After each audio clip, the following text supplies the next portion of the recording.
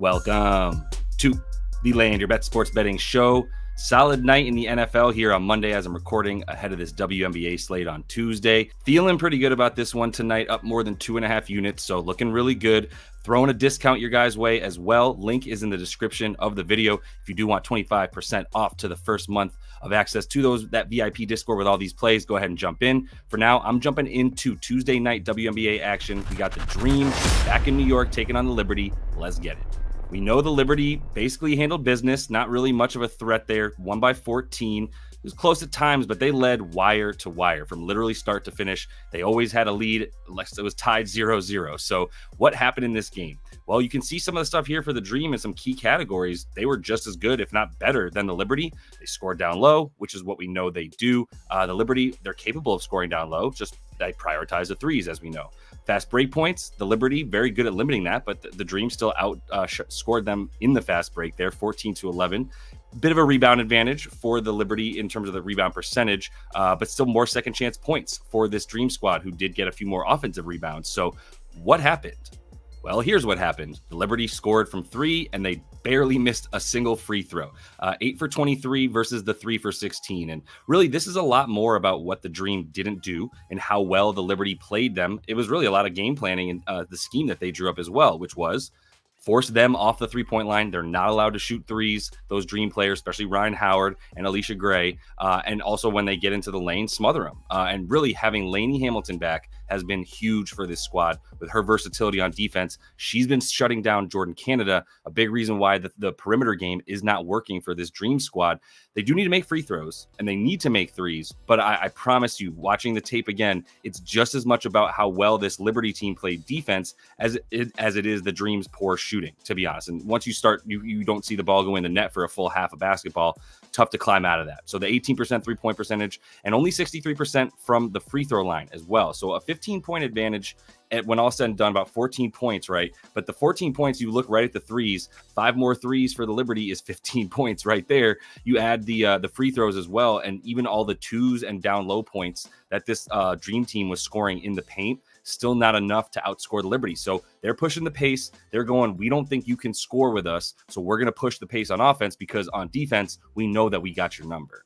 Going to run through some player props. Quick reminder to like the video if you would, subscribe to that page. Super helpful. If you want access to any of the tools that I'm using as well, including Outlier.bet, Props Madness, and Props.cash, uh, those are the three main ones. Links to those in the description of the video. Also have some uh, some discounts if you want them with some codes in there. So just check out the description if you're interested in that. But getting into these player props and who I'm eyeing in this game specifically.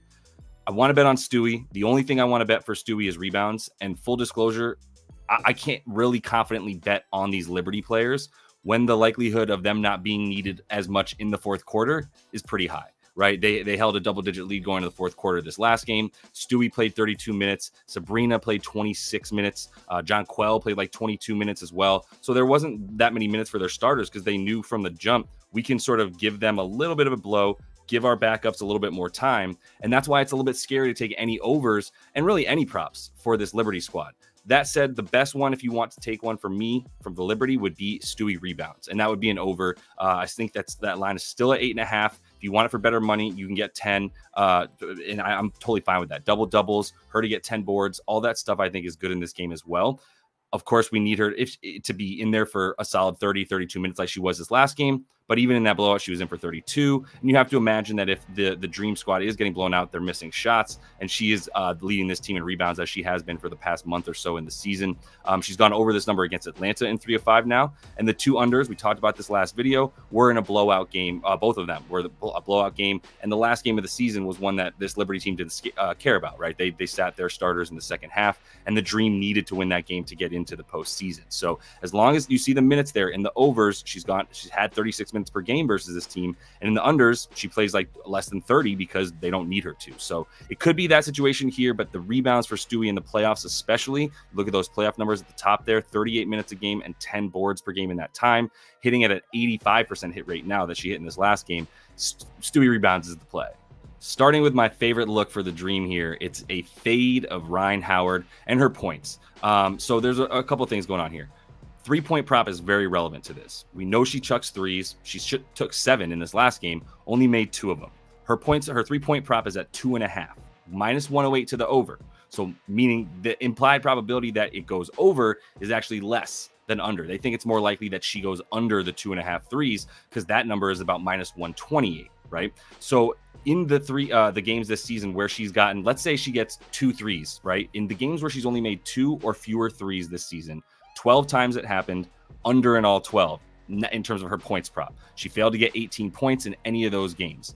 If you, even if you bump that up to three and she gets three made threes or fewer under in 19 of 21 games. So 21 times she hit three threes in uh, 19 of those games she went under her 17 and a half points. And that also includes making one or two threes. It's just to show how important it is for her to make at least four three pointers for her to, for us to feel comfortable about her getting 18 points in this one.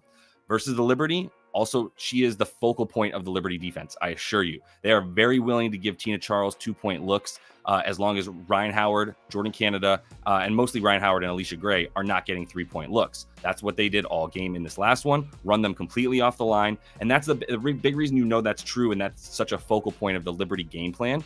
Is you look at her points per game, way fewer than her her average on the season, 12.7 a game, but the 11.6 field goal attempts. She's not even getting shots off because this Liberty team will foul her before they even put her, allow her to shoot a three pointer, right? So uh, on the season, 15 field goal attempts per game against this Liberty team that diminishes by almost four field goal attempts. It's a big deal, man. And she needs all those field goal attempts because she's not an efficient shooter. She's a volume shooter. And if she's not getting the volume, then I love her to continue to go under like she has all year versus this Liberty team. Got to keep fading these dream players, but going under rebounds again, I think is the play for Tina Charles under and four or five versus the Liberty this season, averaging 8.8 per game. This is really hanging at around 10.5 rebounds right now for Tina. The over that she did get versus this team uh, this season, she had played 32 minutes. In the four unders, 22 minutes per game. And a lot of these games have been a similar situation where Tina, the, the vet that she is, doesn't need to be in there if they're down by 15 points going into the fourth or in the middle of the fourth. So she does get fewer minutes against the Liberty, mostly because they're getting beat, but also because she's not the best matchup for this team. Her and Jonquel just kind of neutralize each other, to be honest. Like Tina's taller, John Jonquel's stronger. So they kind of they uh, nullify each other, if you will. Uh, you look at the, the, Liberty defense; they continue to dominate against centers. Number one defense versus centers uh, in terms of limiting points and rebounds per game. Uh, and if you if you look at the way that uh, Tina plays, if you filter uh, all the, the stats of her season and say, I want to know what happens when she plays the top five teams at limiting points in the paint. Does she get rebounds in those situations? Because the opponent rebounds allowed stat and how many other teams allow to a certain position, it can be a little bit misleading at times. Um, but you do know that when a team, in, for different reasons, but you do know that when a team uh, is really good at defending the paint, they're probably good at rebounding as well because they emphasize that area of the floor, which is where the rebounds happen she goes under consistently. So 16 times she's played a team that was in the top five in rebounding, or excuse me, points in the paint defense. And in 11 of those 16, she has gone under. So a very nice hit rate when she plays a team like the Liberty, who are fifth at limiting points in the paint. One more look for this one Jordin Canada gotta fade her again. I know you're asking yourself who's going to score for the Dream. The answer is not many people because they put up 69 points, nice, in four quarters last game. It's in 40 minutes. So uh, Jordin Canada points. This is the the look for a, a fade as well. I think assists and rebounds are a little bit scary for her. The thing that's scary about fading her points is she is capable of getting into the lane. Although Allisha Gray has been getting in her way in that sense, but more importantly, she's uh, really good at taking one step in and hitting that that uh, mid range shot. And this Liberty squad is forcing her off the line but she's not even taking that many shots. Um, they're forcing everybody everywhere. And once she gets in the lane, like I said, Betnijah ha- uh, Laney Hamilton is guarding her and way too big, way too athletic for Jordin Canada to get around or get a shot off in any way. So with that matchup, I love her to continue to not take very many shots, only six and a half points a game on just six and a half field goal attempts. Sometimes she is capable of getting to the free throw line, uh, about 3.7 free throw uh, attempts per game on the season, but only 1.7 versus this uh, this Liberty squad who does a very good job of D'ing her up without fouling her. So really like her to continue to go under 10 and a half points. If you can get that number, that's a really good look for Jordin Canada. And that is all the time I have for you guys. One more reminder, all the stuff you need is in the description of the video. Link to the VIP Discord, the regular Discord if you want the free access as well. That's the link is in, the, in that description as well. Uh, jump in. There's some really good looks from a lot of really good betters including the VIP members who have their own channels and are dropping some bets. A couple of really good looks there. So make sure you stay tuned to all of that. And until I see y'all next, happy betting.